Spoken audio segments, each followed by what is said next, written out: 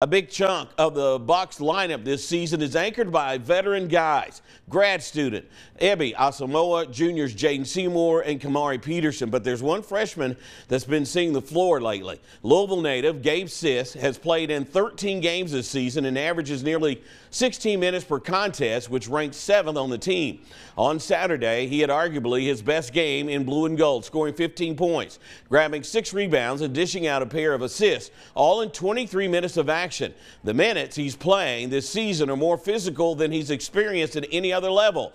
But Savage believes it will continue to mold him into a force in the conference. The best way to develop, you know, skill development, player development, everybody's all into that. It ain't, it ain't them cones. He's playing in that game. And so he's learning. And he's going to have a big summer and continue to play well the rest of the year and a big spring and a big summer. And he's going to get some muscles. He's going to look like me when he gets back here. And you know, he's um, it's going to be really good, I think. Yeah, that sweatshirt could barely hold him. Abby smiled when asked about Sisk in Saturday's press conference, saying how important it was to have him step up off the bench in a conference game.